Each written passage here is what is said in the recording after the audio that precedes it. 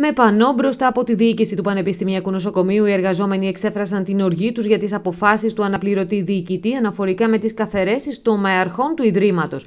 Μιλούν μάλιστα για άξια στελέχη, τα οποία οργάνωσαν κλινικές και τμήματα κορονοϊού. Ξεκινάει από σήμερα καθημερινός, δυναμικός χορός κινητοποιήσεων στο νοσοκομείο μας με τη στήριξη της Ομοσπονδίας της ΠΟΕΔΗΝ αλλά και της ΑΔΕΔΗ προκειμένου αυτό που συνέβηκε το απάνθρωπο από τον αναπληρωτή διοικητή με εντολή του καθαίρεση δύο διευθυντικών στελεχών, δύο τομιαρχών, οι οποίοι από την πρώτη στιγμή της πανδημίας έχουν δώσει τα πάντα, έχουν οργανώσει για τον κορονοϊό, αυτό τον αόρατο εχθρό, ε, την καλύτερη διαχείριση στη Δυτική Ελλάδα, τους καθαρίσει εν μέσω νυχτός, διότι η αιτιολογία του ήταν να βάλει φρέσκα άτομα.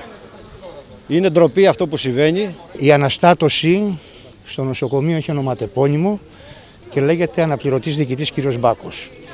Ε, είχαμε προειδοποιήσει από την τοποθέτησή του τα τεκτενόμενα και δυστυχώς δικαιωθήκαμε. Ζητούν να ανακληθούν οι καθαιρέσεις και να ενημερωθεί ο λαός της Πάτρας για τα κριτήρια και τις επιλογές της διοίκησης.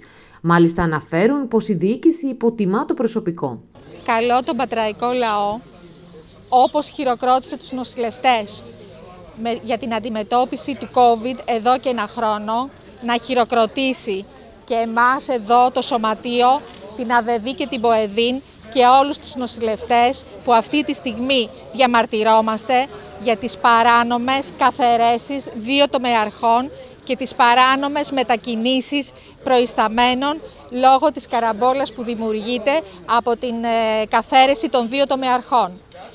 Η μία δε από τις τομεάρχες ήταν αυτή που ίδρυσε τις δύο κλινικές ε, COVID και METH COVID και λειτουργήσε άψογα 10, 10 μήνες, ε, ένα χρόνο τώρα, η ΜΕΘ είναι 10 μήνες σχεδόν, ε, χωρίς να δημιουργηθεί κανένα πρόβλημα, ενθαρρύνοντας τους νοσηλευτές και μένοντας μαζί τους στο να δουλέψουν και παραπάνω. Δυστυχώς η διοίκηση του νοσοκομείου του Ρίου ακολουθώντας την ε, πεπατημένη του διοικητή της έκτης ΥΠΕ, συνεχίζει και αυτή εδώ τις καρατομήσεις των θέσεων ευθύνης.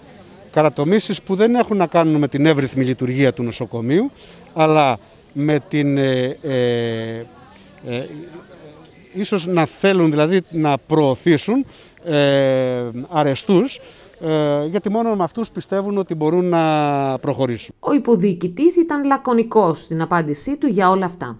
Μία, μία διοικητική πράξη νομίζω, πράξη της διοίκησης η οποία θεωρώ ότι κάποιοι άνθρωποι οι οποίοι βρίσκονταν σε μια θέση ευθύνης μετακινήθηκαν σε μια άλλη ευθύνη, θέση ευθύνης κατώτερη στην Πάδα.